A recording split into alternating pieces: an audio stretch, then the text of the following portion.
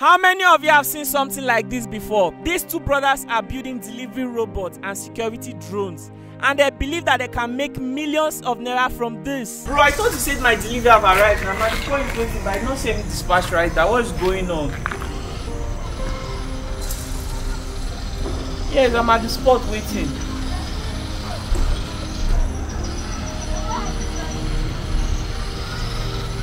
Oh my god, what is this? This is delivery. Wow.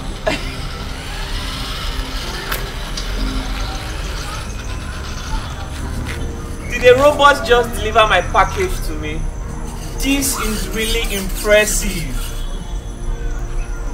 Oh, how do I get it up?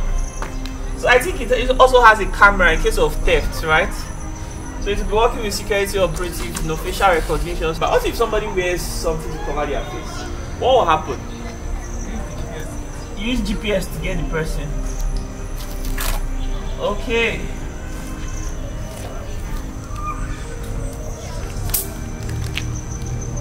Dispatch riders, you're about to lose your job because this is the future. They can even program your house in a way that if you say light on, the light will automatically on. And if you say light off, it automatically go off. Alexa, I'm about to shower.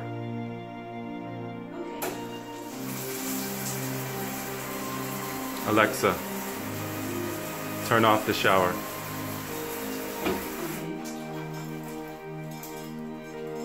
Turn on the bedroom light. Set the bedroom light to 100%. Turn on the closet light. Turn off the closet light.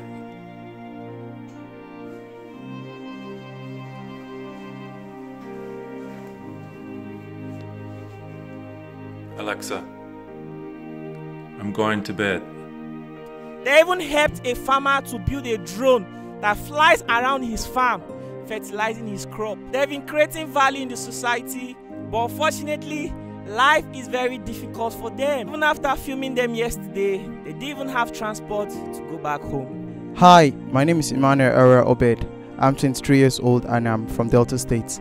I and my brother have been building AI and robotic solutions since we're, when we were kids, and it's so sad that we don't have any sponsorship. Hi, my name is Joshua Obed. I'm 20 years old. I'm from Delta State, Nigeria. We have been building this right from small and we haven't get sponsorship yet and we didn't feel good about it. It's okay, stop, stop! stop! Stop! I'm happy! Boys, come on! I'm on the road. Remove it!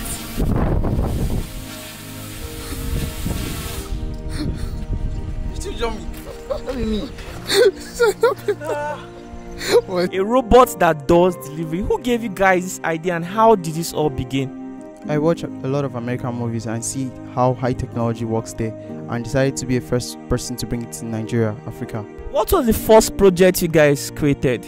Yeah, the first project we created was an aeroplane. So me and my brother we gather up money, we save up money to to go to the market and buy the materials needed. Most times, if we build them, our parents do scatter them, insult us. We lose a lot of friends. Turn People back! insult us that we don't know what we're doing. But me and my brother, we never give up. We keep. So most times, night we don't sleep.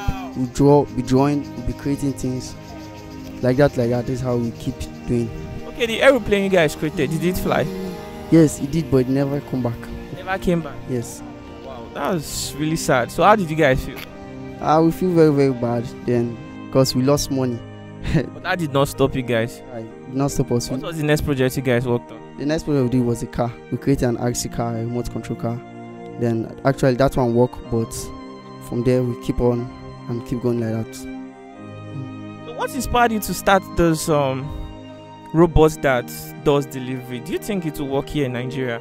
Yeah, what inspired us to do delivery robots? We see that um, dispatch riders it takes time. So this robot, if you're using robots, it don't waste time and it can come more easily solve problems to go to different kind of location and uh, Considering the road in Nigeria. yeah, the road in Nigeria. No, Are you serious? yes sir. Considering the security situation too. Yeah, it's safe. How fast is this?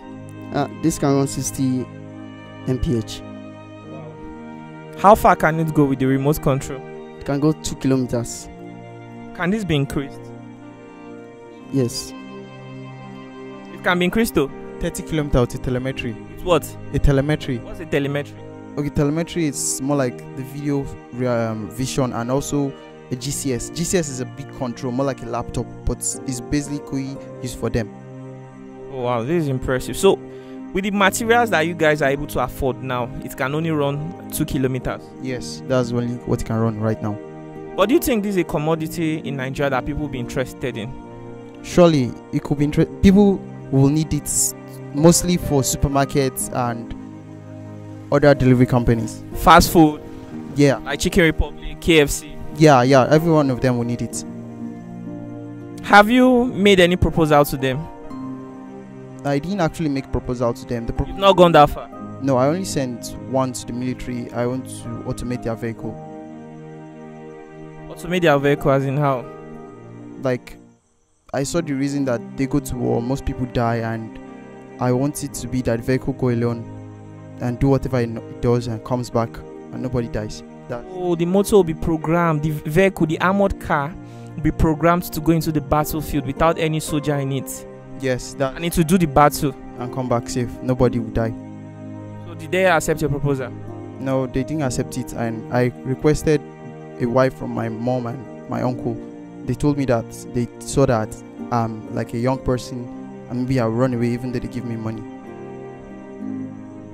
What, did they even respond to you? They gave me a little project first, and it's like something not serious. It's not even something important actually. What's the project about? A light extender. What does it do? It's just to shine lights in the garage, and they already had that already. this is life. I mean, who doesn't have a story like this that is successful today? We've all had rejections and disappointments. So, what has kept you going regardless of all these setbacks and disappointments?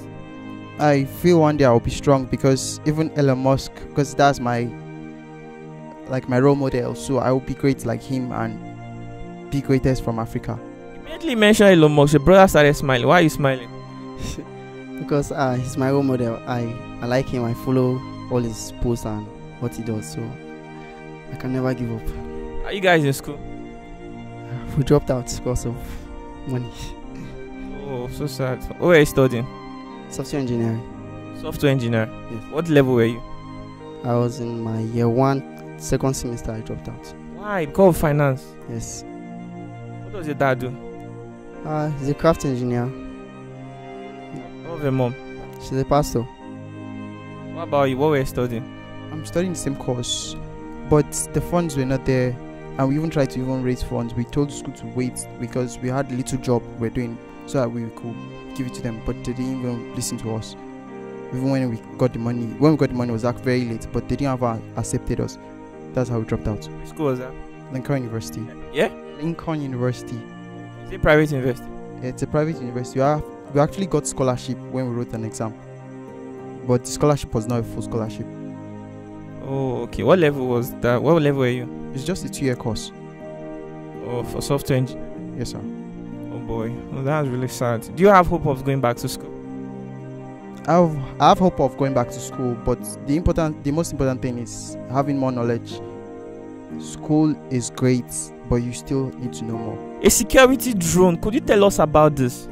Yeah, there's the rise of um, insecurity in Nigeria, especially kidnapping of people. So we came up with a plan to use security drone to seamlessly connect them to cameras, maybe street cameras and other cameras around. So all of them work seamlessly and transmit the data to a database, allowing security agents to be able to know what's around maybe forest and stuff. But these security drones, when they spot a threat, because the threat it's have it has this image processing that if they are with weapons or stuff, it's gonna send it that okay, this is what I saw. Then it will have to take a little action, and that action is it might shut the threat down for like 30 minutes. So it sends the alarm to bring a security agent to that place so that they'll get the person. What do you mean that it will shut the thread down for 30 minutes? Okay, there's a little technology we- we're working on to more like chemistry technology. So it's just send some sh- light shockwave. So that shockwave makes the person to sleep, not that it's killing the person. Okay, let's say somebody is trying to rob someone. So the drone is going to send shockwave to the person who is attacking the innocent person. Yes, that's what we wanted to do. And to do this while protecting the person who was being robbed. Yes. Wow, this is impressive. So this could tell you that someday drones will be flying around killing people. Who knows? You guys think so? That's if we allow robots to take over Earth, which we will not allow them. What's your take on AI? My take on AI is that we should become smarter than them by not allow, like, let's say, for example, kids that are coming up, parents should not just allow them to to just play with AI. They should study more, know how to program more, so that they can actually build something to protect themselves when AI, the full AI comes. Because AI is we that are AI. Somebody can build something dangerous to harm the society. Hmm. Impressive. Brothers and sisters, do you think that these guys will succeed in a country like Nigeria? And also, I'm really worried about their education. I don't know if there's a way we can actually support them to go back to school. If you're interested in these boys, please reach out to them. Who would like to call phone numbers? Okay, we'll call mine 081 0842 5282. Are you on WhatsApp? Yes, I'm on WhatsApp with that number. Very, very impressive. Let's give these guys a shot. I mean, they may not have perfected the vision that they have. You know, life is step by step. Time is what stops everything from happening at once. Even eh, Elon Musk did not get it in the first try. I believe that if well supervised, they'll be able to bring to reality what they have envisioned. Considering all the things going on in the country, the security situation, I think that this guy should be given a shot, some level of mentorship, access to education, access to materials to continue building and experimenting. Someday they might just get it, and we could enjoy something they've been able to create. All right, guys. Um, I think this should be the end of this very interview. Um, I'm still moving around telling the stories of underrepresented people. If you have a story you want me to cover, send me an email or hit Lucky Udus Foundation WhatsApp. And if you want to learn how I create videos, go to www.luckyuduacademy.com and I'm gonna teach you how to go viral, how to edit videos like me, and how to produce videos like me. Let's so bye to the viewers. Bye bye.